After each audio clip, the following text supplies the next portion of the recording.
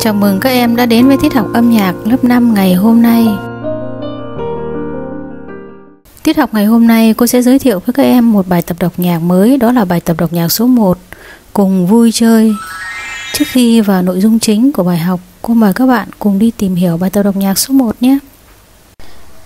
Các bạn hãy quan sát vào bài tập đọc nhạc số 1 trên màn hình và cho cô biết bài tập đọc nhạc số 1 được viết ở nhịp bao nhiêu?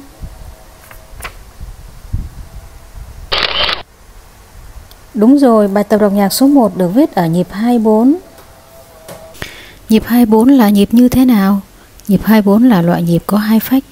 Trong mỗi ô nhịp, giá trị của mỗi phách bằng một nốt đen. Phách 1 là phách mạnh và phách 2 là phách nhẹ.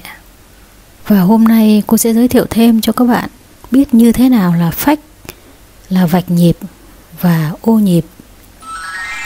Và bây giờ chúng ta sẽ cùng đi tìm hiểu như thế nào là phách Phách là một nhịp được chia thành các quãng thời gian đều nhau gọi là phách.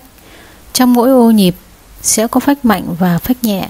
Từ đó mà chúng ta có thể phân biệt được các loại nhịp khác nhau như là nhịp 24, nhịp 34 và nhịp 44. Chúng ta tiếp tục chuyển sang tìm hiểu vạch nhịp là gì. Vạch nhịp là các đường kẻ dọc màu đen được gọi là vạch nhịp dùng để chia các khuôn nhạc thành các ô nhịp. Và đây là một ví dụ cô giới thiệu với các bạn để nhận biết được thế nào là vạch nhịp. Và cuối cùng là ô nhịp. Ô nhịp được phân định bởi các đoạn thẳng, đứng vạch trong khuôn nhạc và những vạch đó được gọi là vạch nhịp hoặc gạch nhịp. Và đây là một khuôn nhạc được chia thành 4 ô nhịp. Cô mời các bạn cùng quan sát. Vừa rồi cô đã giới thiệu đến các bạn như thế nào là phách, vạch nhịp và ô nhịp. Và để biết được các bạn đã nắm được bài chưa thì bây giờ cô sẽ có một số câu hỏi. Các bạn hãy lắng nghe và trả lời nhé. Bài tập đọc nhạc số 1 có mấy câu và bao nhiêu ô nhịp? Đúng rồi, bài tập đọc nhạc số 1 có 2 câu và 8 ô nhịp. Các bạn tiếp tục quan sát và cho cô biết bài tập đọc nhạc số 1 được sử dụng những cao độ nào. Cao độ đây hay còn gọi là các tên nốt nhạc đấy các bạn. À đó là nốt đồ, rê, mi và son. Các bạn đã nắm được thế nào là cao độ rồi và bây giờ các bạn cùng chú ý lắng nghe thêm một câu hỏi tiếp theo. Bài tập đọc nhạc số 1 sử dụng những trường độ nào? Trường độ hay còn gọi là những hình nốt đấy các bạn. À, đó là các nốt móc đơn, nốt đen và nốt trắng. Vừa rồi các bạn đã đi tìm hiểu các ký hiệu có trong bài tập đọc nhạc số 1 rồi. Và bây giờ cô mời các bạn theo dõi lên màn hình và lắng nghe cô đọc mẫu bài tập đọc nhạc số 1.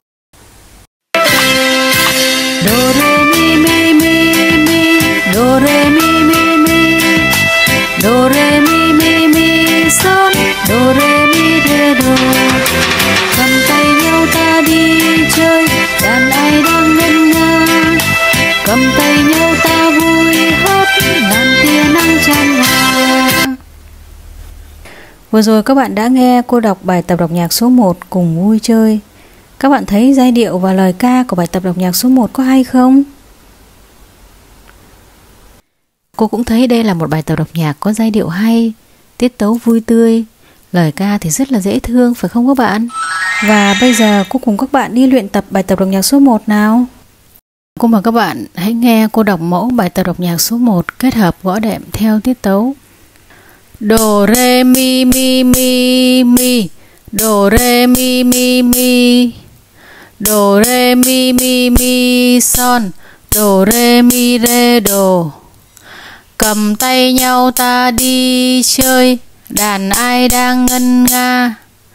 Cầm tay nhau ta vui hát. Ngàn tia nắng chan hòa. Cô mời các bạn cùng đi luyện tập cao độ với các nốt đồ Re, Mi, Son. Các bạn sẽ nghe cô đọc mẫu nhé đô rê mi son son mi rê đô. Các bạn nghe lại lần nữa.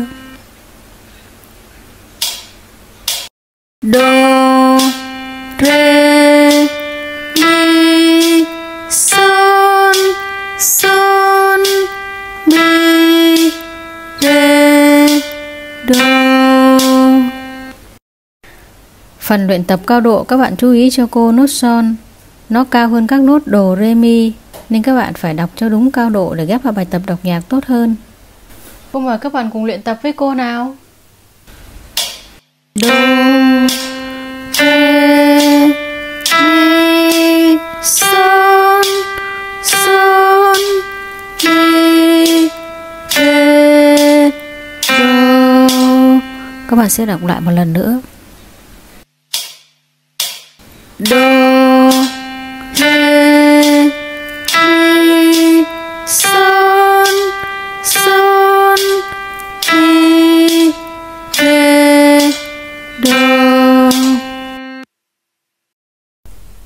Và bây giờ cô mời các bạn đọc lại cho cô phần luyện tập tiết tấu.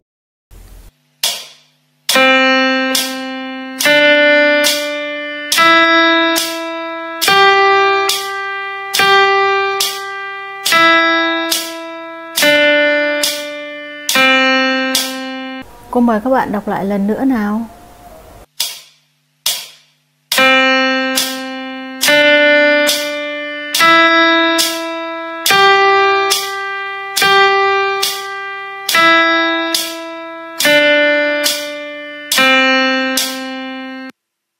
Các bạn đã luyện tập xong cao độ, giờ chúng ta sẽ chuyển sang luyện tập tiết tấu. Các bạn sẽ nghe cô đọc mẫu và kết hợp gõ đệm theo tiết tấu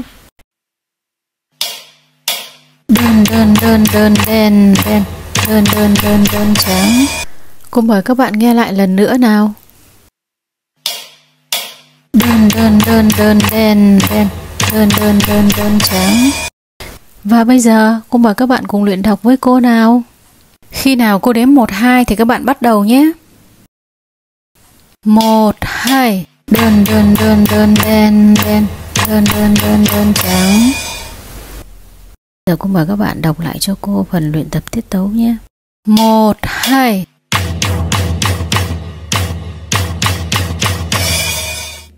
Các bạn đọc lại lần nữa nào. một hai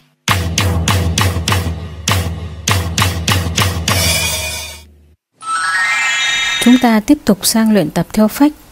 Vừa rồi các bạn đã luyện tập theo tiết tấu thì các bạn thấy là chúng mình đọc rất nhanh và gõ đệm tất cả các nốt nhạc cô đã đánh dấu nhưng sang luyện tập theo phách thì các bạn sẽ đọc chậm hơn và gõ đệm cũng ít hơn. Vì vậy các bạn chỉ đọc những nốt nhạc nào mà đánh dấu chéo thôi. Và bây giờ các bạn lắng nghe cô đọc mẫu luyện tập theo phách nhé. Đơn đơn đơn đơn đen đơn đơn đơn đơn trắng. Cô mời các bạn nghe lại lần nữa. Đơn đơn đơn đơn đen đơn đơn đơn đơn trắng và bây giờ, cô mời các bạn cùng luyện đọc với cô. Khi nào cô đếm một, hai thì các bạn bắt đầu nhé. Một, hai.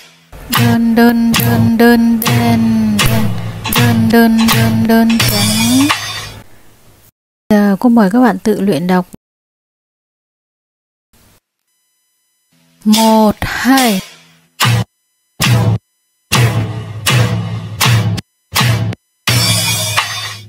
Cô mời các bạn đọc lại lần nữa nào. một hai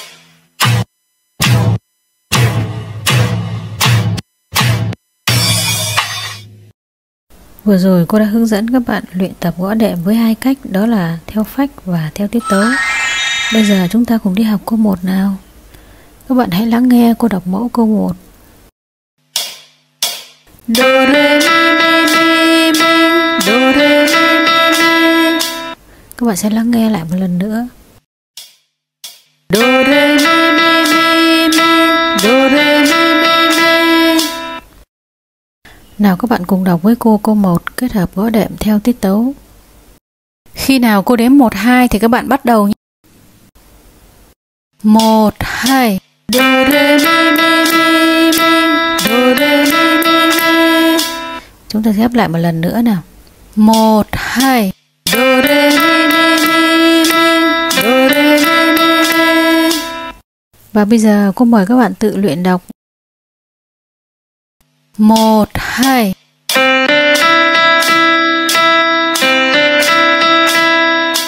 Cô mời các bạn đọc lại lần nữa nào. Một, hai.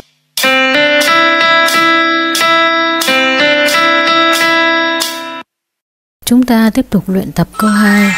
Các bạn sẽ nghe cô đọc mẫu câu 2.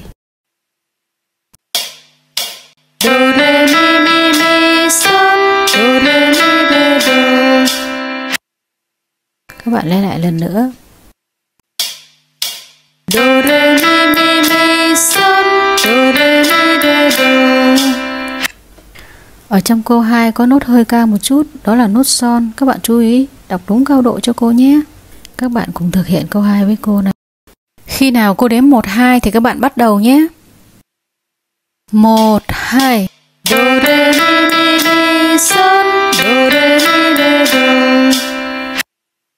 Các bạn ghép lại một lần nữa. 1 2 Do re mi mi mi son do re mi re do. À, cô mời các bạn tự luyện đọc. Một hai.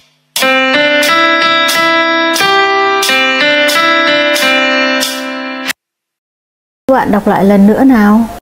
Một hai.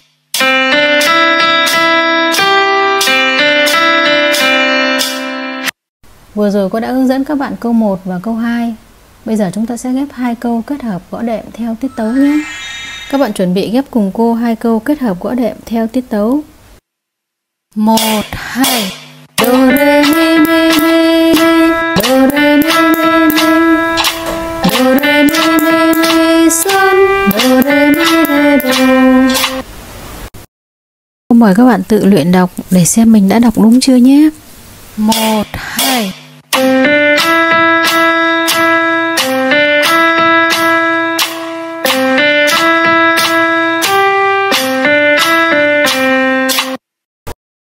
đọc lại lần nữa nào. Một, hai.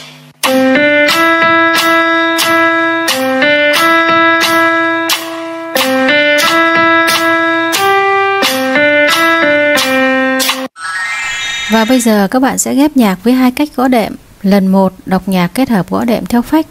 Lần 2 kết hợp gõ đệm theo tiết tấu. Các bạn đã sẵn sàng chưa? Chúng ta sẽ bắt đầu nào.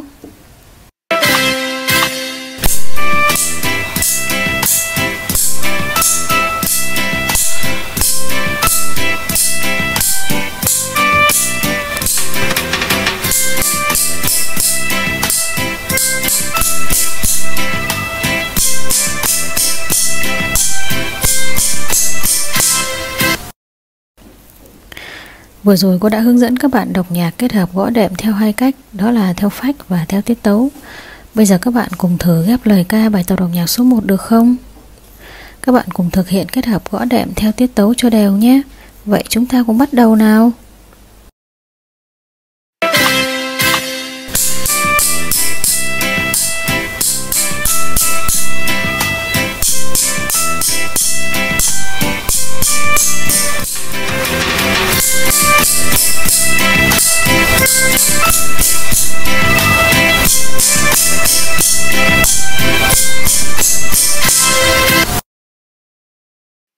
Cô mời các bạn đọc nhạc ghép lời lại bài tập đọc nhạc số 1 một lần nữa nhé.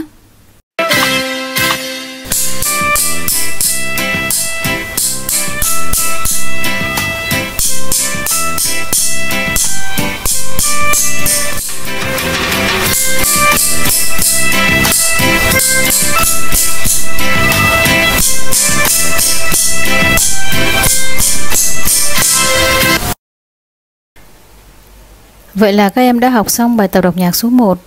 Cô mong rằng các em sẽ luyện tập thường xuyên và tự ghép lời ca cho bài tập đọc nhạc số 1 thật tốt. Cuối cùng cô xin chúc các em và gia đình nhiều sức khỏe, luôn bình an. Mến chào các em, hẹn các em ở tiết học sau.